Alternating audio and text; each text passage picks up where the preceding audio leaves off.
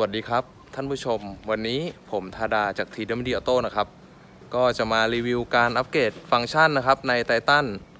2020 นะครับ ช่วงยาวเกียร์ออโต้ครับ มี diff lock นะครับ ก็เดี๋ยวจะไปรีวิว แล้วก็เดี๋ยวจะมีรีวิวภายนอกที่พี่เจ้าของรถได้แต่งมาให้ชมกันสักเล็กน้อยนะครับ ว่าแนวนี้แต่งกันแบบไหนครับ Triton 2020 นะครับ ช่วงยาวขับเคลื่อน 4 ล้อเกียร์ออโต้ครับ ก็เดี๋ยวมาชมภายนอกกันสักเล็กน้อยนะครับ คันนี้ก็ยังไม่ได้ยกสูงนะครับ แต่อัปเกรดช่วงล่างล้อยางไปนะครับ ยางเป็น Bridgestone Dueler AT 697 นะครับ ขอบ 17 แล้วก็ช่วงล่างนะครับทำมาจากร้านสิงห์ภูทร8ริ้วนะครับ ก็เป็นโช้คอัพ Profender monotube ปรับ 8 ระดับหน้าหลังเลยนะครับ แล้วก็แต่งภายนอกมีกันชนหลังนะครับ มี roll bar ครับ แล้วก็ที่อัปเกรดจากทีดมิดียออโต้นะครับ ก็จะเป็นตัวนี้ก่อนเลยครับ กระจกมองข้างของ Triton Athlete ปี 2020 นะครับ สีดำเงา รุ่นท็อปติดตั้งพร้อมสวิตช์ปรับพับไฟฟ้านะครับ และเปิดระบบ ก็ ไปชมด้านในครับคันนี้ ด้านในก็จะมีพวงมาลัย Pajero Sport ปี 2020 นะครับ พร้อมเรือนไมล์และ Paddle Shift ครับ แล้วก็มีหัวเกียร์ออโต้นะครับ เป็น Kevlar ตัวนี้ custom by TDD Auto ครับ ไปชมกันนะครับสำหรับกระจกมองข้างนะครับ ก็ได้ตั้งค่าให้กางออกเมื่อ on กุญแจนะครับ เดี๋ยว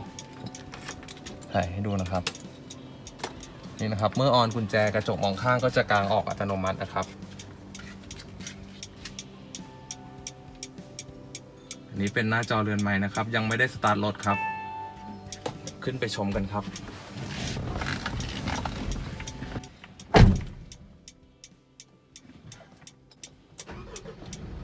เรือนไม้ปาเจโร่2020 นะครับ ติดตั้งและอัปเกรดระบบนะครับ ให้สามารถควบคุมหน้าจอเรือนไม้นะครับ จากสวิตช์พวงมาลัยได้ครับนี่ครับ อันนี้เป็นหน้าจอของระบบขับเคลื่อน4ล้อนะครับ แล้วก็คุมเปลี่ยนรูปแบบหน้าจอนะครับ แบบที่ 1 แบบที่ 2 อันนี้ก็จะเป็นผมเปิดไฟขอทางไว้นะเพื่อให้ฟังเสียงไฟเลี้ยวครับ เดี๋ยวเข้าไปชมการใช้งานกันครับ ที่หน้าจอนี้นะครับ ก็เป็นหน้าจอตั้งค่าครับ เลือกรูปแบบหน้าจอรูปแบบที่ 3 เดี๋ยวผมจะเลือกไว้ที่แบบที่ 3 แล้วกันนะครับ ก็รีวิวกันไปหลายคันแล้วนะครับสำหรับเรือนไม้ปาเจโร่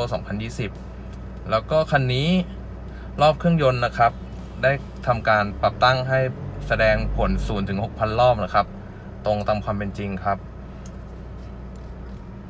มาชมกัน เลือกรูปแบบหน้าจอไปที่แบบที่ 1 ก็ได้ครับ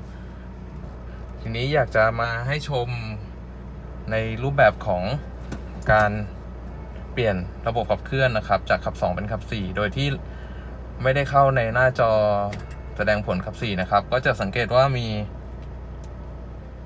สัญลักษณ์ที่มุมซ้ายล่างนะครับ เป็นสถานะของระบบขับเคลื่อน 4 ล้อ แสดงขึ้นมาด้วยครับ อันนี้ผมกำลังจะเปลี่ยนจาก ขับ 2 เป็นขับ 4 นะครับ ต้องขยับรถนิดนึงครับ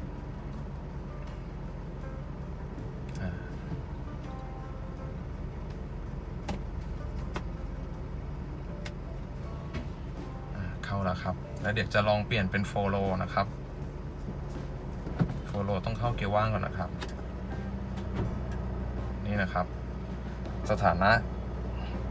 ขับเคลื่อน4ล้อ ความเร็วต่ำนะครับ แล้วก็ถ้าอยากจะเข้าไปดูให้ละเอียดก็เข้าไปที่หน้านี้ครับ ตัวนี้ก็จะเป็นโฟโลเดี๋ยวผมจะลองเปิดสั่ง on deep lock ครับ แต่อันนี้เท่าที่ลองมานะครับ deep lock ก็จะไม่เข้านะครับจะกระพริบอยู่แบบนี้ครับ เข้าค่อนข้างยาก แต่อยากให้ดูในในหน้าจอแสดงผลไว้เป็นแนวทางนะครับ แล้วก็เสียงที่ดังขึ้นนะครับ ก็เป็นเสียงเตือนเกียร์ถอยหลังครับ เมื่อเราเข้าเกียร์ถอยหลังก็จะมีเสียงเตือนดังมาจากเรือนไม้ครับ ก็ผมสั่งออฟดิฟล็อกครับนี่นะครับ สั่งออฟแล้วก็จะกลับไปที่4 High ครับ แล้วก็กลับไปที่ขับเคลื่อน2ล้อครับ ขยับรถเล็กน้อยครับ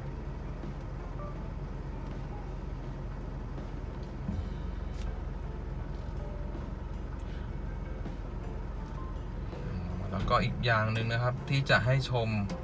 ก็คือมุมล้อครับต้องเข้าขับเคลื่อนสี่ล้ออีกครั้งหนึ่งนะครับ นี่นะครับ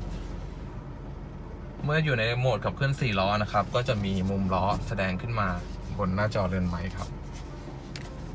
แบบนี้ครับ แสดงทั้ง4 High และ4 Low ครับ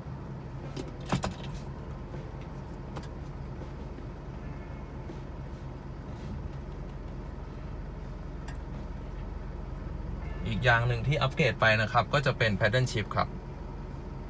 นี่นะครับ เปลี่ยนเกียร์ที่พวงมาลัยได้เลยครับ เป็นระบบของโรงงานนะครับ ติดตั้งในแบบของรุ่นท็อปก็ใช้งานได้ตามระบบโรงงานครับ เดี๋ยวจอดแล้วเดี๋ยวจะให้ชมกระจกมองข้างนะครับ ปรับพับไฟฟ้า ก็ช่วยให้ มีความสะดวกมากขึ้นนะครับ ในเวลาที่ใช้งานจริง เพราะว่ารุ่นนี้จะเป็นกระจกแบบปรับมือนะครับ ก็จะลำบากมากครับ ถ้าต้องปรับกระจกเวลาที่ขับรถ กระจกมองข้างนะครับ นี่นะครับ ติดตั้งโดยใช้สวิตช์แท้ครับ กดปรับพับได้จากในรถเลยครับ นี่นะครับ กดพับจากสวิตช์เหมือนรุ่นยกสูงหรือรุ่นท็อป จากโรงงานนะครับ แล้วก็กดปรับจากสวิตช์นะครับ นี่นะครับ เป็นออปชันที่ต้องมีเลยนะครับ เพราะว่ามันมันไม่สะดวกนะครับ ถ้าเราไม่สามารถปรับด้วยมือ โดยใช้สวิตช์ได้ครับ มาดูหัวเกียร์นะครับตัวนี้เป็นหัวเกียร์ที่ Custom by T w d Auto ครับ ก็มีสไตล์ครับ อีกอย่างหนึ่งก็จะมีนี่นะครับ มือโหนเหนือศีรษะนะครับ ก็ติดตั้งไปเพิ่มความสะดวกให้กับคนขับครับ ก็สนใจติดตั้งอัปเกรดในแนวนี้นะครับ ก็ติดต่อมาได้ที่ TW Auto ครับ แล้วพบกันใหม่คลิปหน้าครับ สวัสดีครับ